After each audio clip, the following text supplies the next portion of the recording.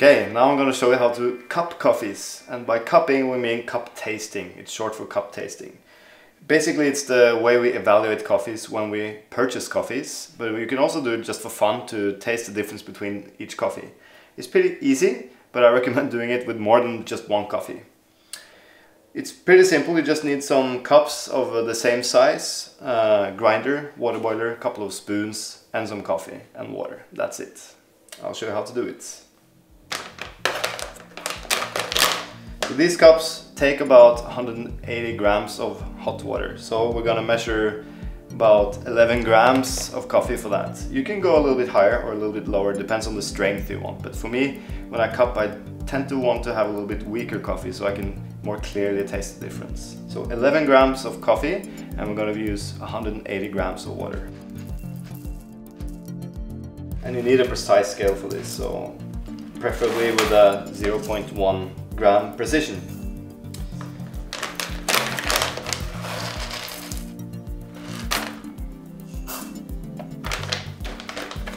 takes a little bit of time to set up, but I kind of enjoy that time because it's the time to start meditating and uh, prepare yourself for tasting coffee.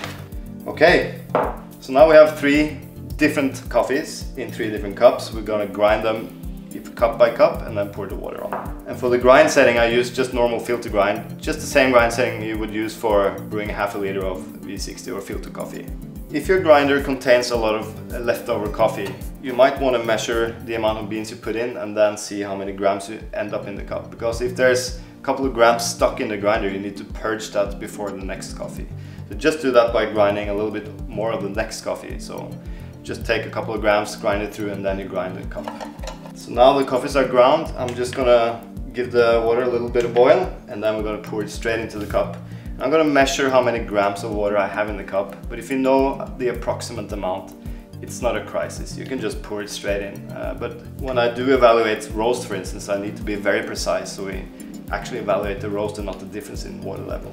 So just as a rule of thumb, about 60 to 65 grams per liter, that's what you need to use and just measure your cups before you start so you know what kind of ratios you need to use. So now I'm gonna tare the scale, put one cup on and start the timer and just pour the water on. And this is very similar to the French press or steeped or cookie coffee. It's just the same thing. Water and coffee. Next cup, tare the scale, do the same thing. Just make sure all the grounds are getting wet, otherwise you'll get an uneven extraction. Last one. Already I can smell the wonderful aromas from these coffees. And what we do normally now is to just smell the crust of the coffee because they will smell very different and a lot of people like to take notes. One smells like fruit, the other one smells like nuts or whatever. But it gives you an indication of what you're gonna be able to taste in the coffee.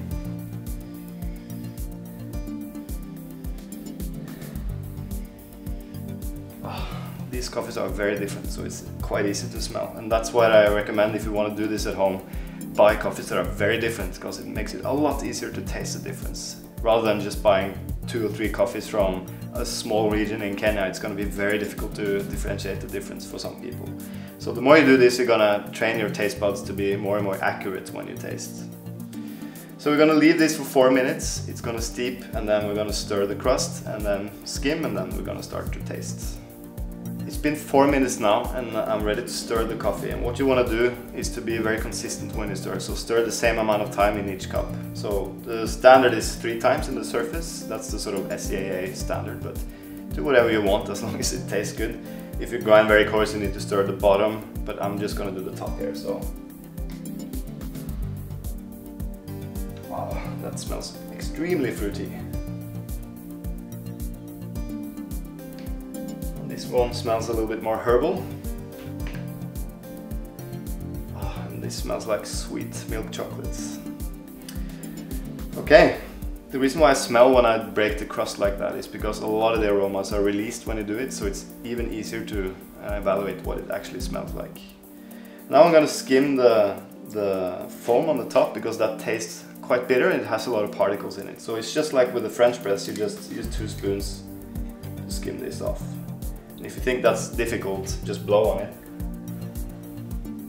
And then you can use one spoon and just take the foam off, like it would do when you boiled stock, for instance. And if you want to really follow the protocol, you need to rinse the spoons between each cup, but this is a home cupping, so I'm not so picky on it. Okay.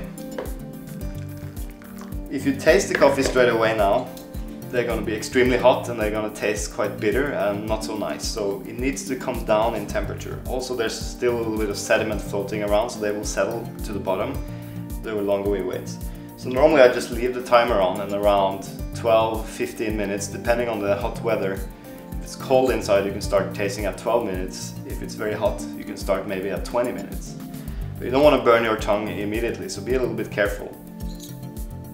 So now it's been 12 minutes and the coffees have come down in temperature, so now I'm ready to taste them. What you do, you need a, like a soup spoon uh, that can contain a little bit of liquid without spilling too easily. And you just take a little bit from the top. Don't take from the bottom because that's where the grits are. So you don't want to get that into your spoon. So just take from the top and then you just slurp it like it's really hot soup. Lot of people practice this slurping technique, but you know, the point is to get oxygen into your mouth so all the aroma sort of evaporates into your uh, nasal cavity in here so you can actually smell what difference are between the coffees. So first just go through a round.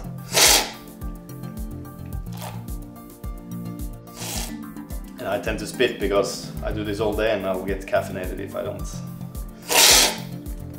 Mm huge difference. Here we have a Honduran Java variety, a Castillo variety from Colombia, and then a Kenyan SL28, which is so much more fruity than all the other ones, so it's pretty easy to taste the difference. So you'll get an impression now when the coffees are really hot, but I recommend waiting another, you know, 5-10 minutes and then taste them again. And then we'll see it's even easier sometimes to notice the difference. And if there's any defects or something, the coffee will taste worse and worse and worse. If it's a really good coffee, it'll still taste fantastic when it's cooled down. So this is how we do the cupping and uh, I basically do this every day because we always need to evaluate roasting or buying coffee or quality control in some sort and this is how we do it. So it's pretty simple to do at home and I highly recommend trying it out. Good luck!